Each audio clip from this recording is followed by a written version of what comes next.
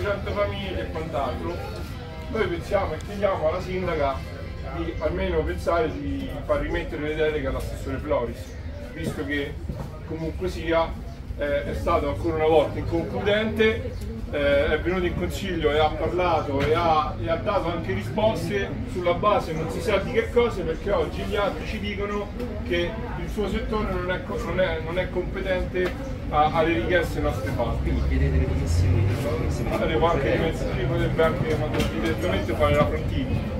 Non è questo come vuoi, però no, ancora una volta si è ancora una volta si è, si è, si è ancora una volta si è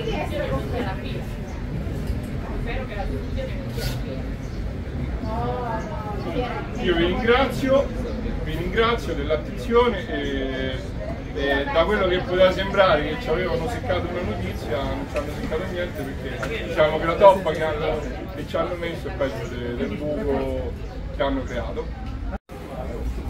E se a me i dirigenti rispondono che non sanno niente però gli assessori vengono in consiglio e non rispondono c'è un problema c'è un problema. Quindi ecco perché è una cosa misteriosa perché se io faccio accesso agli atti mi devono essere date delle carte.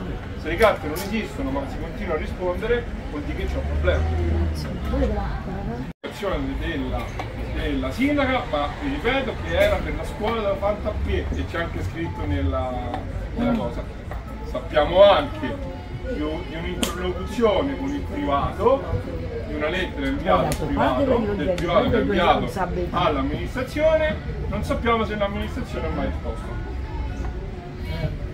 Sappiamo della riunione che come loro hanno indicato sul comunicato stampa che doveva, esserci ma il privato pare che non si sia presentato, però da qui a far saltare poi tutta questa situazione che anche noi, che anche noi volevamo che diciamo, non venisse che Viale Trento diventasse la scuola di questi ragazzi.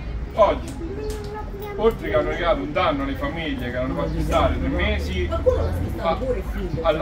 all'acqua sì. alla gola per la scuola, oggi creano ancora di più un danno che creano ancora momenti di diciamo, eh, incertezza, come già gli ho detto l'altro giorno in consiglio comunale, perché? Perché oggi ancora oggi non sanno le famiglie, soprattutto i bambini, dove inizieranno l'anno scolastico. Potremmo fare tutto. Facciamo l'appello, facciamo anche l'appello. Ecco, guarda, la stampa ci aiuta a fare appello. Ma dove li volete mettere? Avete detto lì no, ma dove? Cioè, li spostano? Cioè, no, non lo so, noi stiamo eh, facendo, noi stiamo facendo un appello. Le famiglie vogliono famiglie, i bambini. Le famiglie vogliono rispondere. Ma eh, questa, attenzione, questa, questa è un'altra cosa, questo fateci qua lavoro a noi, però questa è un'altra cosa che porteremo su altri posti. La questione in oggetto si rappresenta che questa prefettura, pur consapevole dei limiti delle proprie prerogative, ha acquisito elementi informativi presso il comune di Viterbo a fronte della preoccupazione manifestata dai genitori. Quest'ultimo, comune, ha ampiamente esposto le motivazioni che hanno determinato la scelta dei locali di Viale Trento numero 32 quale sede provvisoria in vista dei lavori del PNRR per la messa in sicurezza della sede originaria,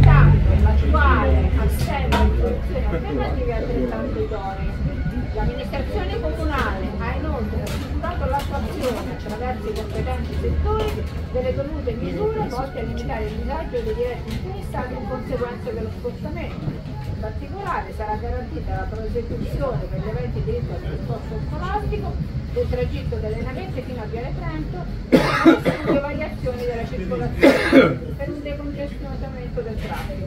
Qualora risulti necessario, infine, il Comune disporrà la presenza di personale del volontariato di protezione civile per l'assistenza sia all'ingresso che all'uscita degli Ma non è che c'è problema. Ha detto che si metteva